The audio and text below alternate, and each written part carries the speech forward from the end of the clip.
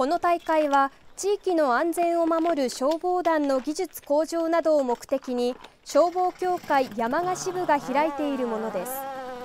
今日は山鹿市の20の消防団に所属するおよそ1100人が参加しました。